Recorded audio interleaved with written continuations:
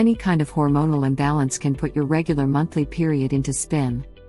If you see spotting for days but the period doesn't start, then parsley tea is worth trying. Parsley is a good herb with many health benefits. Herbalists recommend it to start your period. The two volatile oils, apiol and myristicin in parsley have emmenagogue effects, which means they stimulate blood flow in the pelvic area and uterus. They may also stimulate menstruation. Some other components in minor quantities in parsley have estrogen effect. The logic based on all these factors may push you to believe that parsley tea may help in inducing periods in some cases.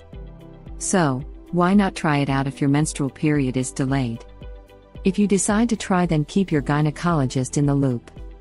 Enough scientific research has not yet been done on this aspect of parsley.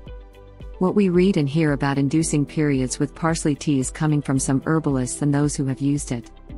Absence of scientific research doesn't mean it doesn't work. Many women who have used it are satisfied with its use. Parsley tea is easy to make.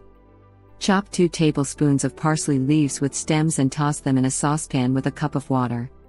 Bring the water to boil and steep it for 5 minutes before straining and drinking it. Drink 2 to 4 cups daily to get quick results. You can also make tea from dried parsley. Drink it for a few days until your period begins. While parsley is good for periods, you have to be careful in its use. Do not use parsley if you are pregnant as it may cause miscarriage. Remember, parsley has high sodium content so it may raise your blood pressure. If you have irregular periods for many months, then consult a gynecologist. This may be due to an underlying health condition that may require treatment. But for occasional delayed menstruation, you can try parsley to induce periods. If you enjoyed the video, then give it a thumbs up and share with your friends. Subscribe to the channel to watch more videos.